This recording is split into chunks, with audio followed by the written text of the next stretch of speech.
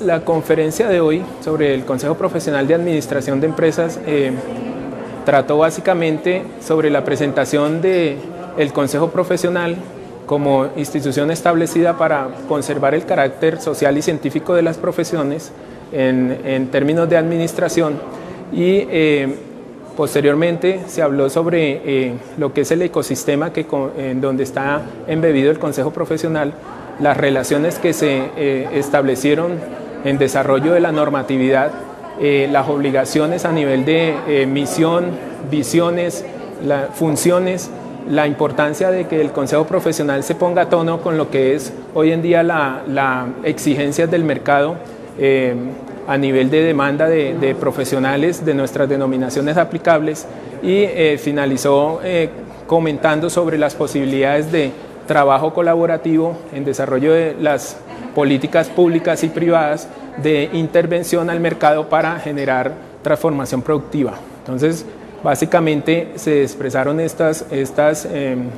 eh, ideas y orientaciones que nos están dando hoy directrices para implementar nuestro modelo de gestión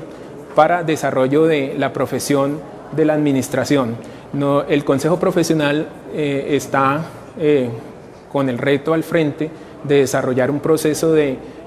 registro de matrícula y expedición de tarjeta profesional para un amplio espectro de profesionales de la administración eh, titulados bajo la misma formación a nivel de objetivo, eh, a nivel de similar denominación y equiparables contenidos. En ese orden de ideas, los retos involucran el establecer una cobertura que puede llegar a las 500.000 profesionales colombianos en unas eh, profesiones que hoy en día en el área involucradas en el área de conocimiento administración van a, tienen hoy un importante eh, rol a nivel de la formación de la profesión colombiana. Entonces, eh, tengo entendido que es la primera profesión que demanda hoy en día el, el estudiantado, ¿sí? Es la que más está produciendo hoy profesionales en Colombia y debe como tal en ese orden de ideas tener un rol bastante importante en el de liderazgo en el desarrollo del país.